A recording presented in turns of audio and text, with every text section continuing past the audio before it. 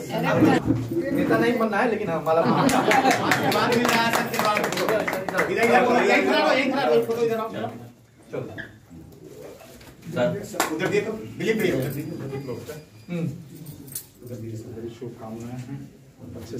कब गई थी यहाँ से?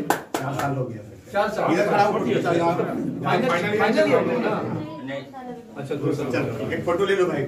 दिलीप में जरा बगल हटिएगा बैठ जाइए सब लोग बैठ जाइए।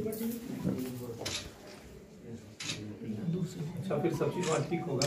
फिर हाँ सब नॉर्मल हो गई हम्म, क्या कहते हैं, complete कर लेंगे। चलो स्नेहा तुम अपनी बात यहीं पर से अब मैं आपके बीच हो, माननीय सर, अपनी सुविधा अनुसार हमेशा हम लोग के कांटेक्ट में बने रहे। ये हम एक शुक्रगुजार हैं ऐसे अधिकारी का, कि जिन्होंने अपनी ज़िम्मेदारी से, ईमानदारी से, वफादारी से और बहादुरी के साथ इस ज़िले का कायाकल्प करने में लगे हैं। मैं चैम्बर परिवार की ओर से, पूरे ज़िले की ओर से इनका आभार व्यक्त करता हूँ। आज इसलिए कहने का मौका मिला है। ये हमारे माननीय महोदय इससे जहाँ पर यह काफ़ी सराहनीय है। मैं अनुमंडल पदाधिकारी से अनुरोध करूँगा कि उनके स्वागत में दो शब्द आपके हैं फिर हम अपने पदाधिकारी सर बुलवाइए। सर, आप ही ठीक ठीक है। सर। माइक बोल सर। को निकलना है।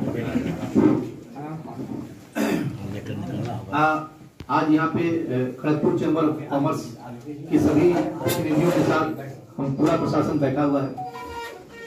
और आप सभी लोग जानते हैं कि लाइफ में, ज़िंदगी में कभी न कभी कोई ऐसी समस्या आती है, जिसके बारे में हमें जानकारी नहीं होती है, जिसको हम लोग आपदा की स्थिति कहते हैं। तो वही स्थिति आज जो यूक्रेन में युद्ध छिड़ा है रशिया और यूक्रेन का, उसके कारण आई है।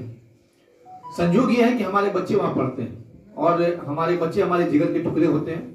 और वो वहाँ पढ़ाई कर रहे थे। तो निश्चित रूप से हम सभी घबराए हुए थे। लेकिन आज के डेट में स्थितियाँ इस बेहतर हुई हैं। काफ़ी बच्चे आ गए।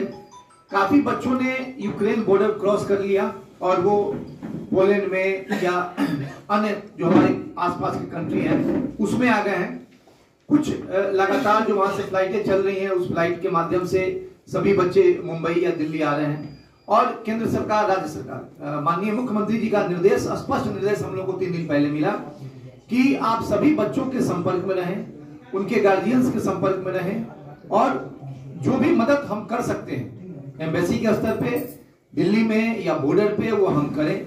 तो हम लोग का जो पहला लक्ष्य ये था कि जो हमारा वार जोन है, जहाँ पे लड़ाई चल रही है, लड़ाई होने की संभावना अगले दो तीन दिनों के अंदर है, वहाँ से बच्चों को हम लोग सुरक्षित निकाल लें।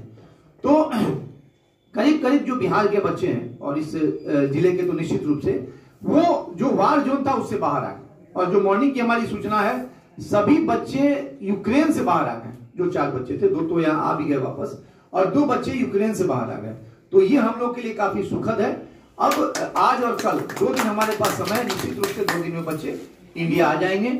और हम तो घबराए हुए हैं, सभी लोग घबराए हुए as a guardian as a माता पिता एज ए हम जो एडमिनिस्ट्रेटर हैं, या ए हम हमारे पड़ोसी हैं, समाज हमारा है, सभी लोग घबराए हुए लेकिन घबराहट के साथ अपने पेशेंस को हम लोग को लूज नहीं करना है। और ऐसी विपदा, ऐसी स्थिति कभी कभी ज़िंदगी में आती है, उससे हम लोग को विवेकपूर्ण कार्य करते हुए लड़ना है। बच्चे खुद समझदार हैं। आप देख लीजिए कि कैसे इन लोगों ने खुद बस अरेंज कर लिया और खुद बस अरेंज करके वहाँ से ये लोग बॉर्डर पे आ गए और वहाँ से बॉर्डर इन लोगों ने क्रॉस किया। तो बड़ी बात है। हम लोग पूरा सपोर्ट अपना दिए हुए इन लोगों को। और उम्मीद है कि एक से दो दिनों में सभी बच्चे आ जाएँगे, फिर हम लोग एक बार चारों बच्चों के साथ फिर से मिलेंगे। Thank you